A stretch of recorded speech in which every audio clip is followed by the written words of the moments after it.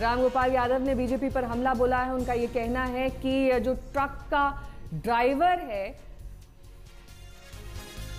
वो दरअसल बीजेपी का ये आरोप है कि समाजवादी पार्टी से जुड़ा हुआ है, उसका नेता है, और यही वजह है कि बेवजह आरोप लगाए जा रहे हैं समाजवादी पार्टी की ओर से।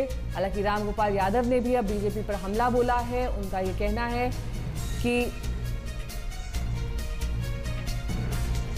जिस तरह से ये पूरा मामला सामने आया है, उसमें बीजेपी अपने विधायक कुलदीप सिंह सेंगर को बचाने की कोशिश कर रही है।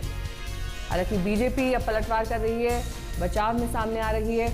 बीजेपी का कहना है कि ट्रक का ड्राइवर समाजवादी पार्टी का नेता है, बीजेपी गुमराह कर रही है, ये रामगोपाल यादव कह रहे हैं। और आपने देखा किस तरह से जब लोकसभा की कार्रवाई हो रही थी अलग अलग पार्टी के नेता लगातार ये मांग कर रहे थे कि अब तक जिस तरह से इस मामले में ढिलाई बरती गई है उसे अब दुरुस्त किया जाए, जल्द से जल्द पीड़िता को इंसाफ मिल सके।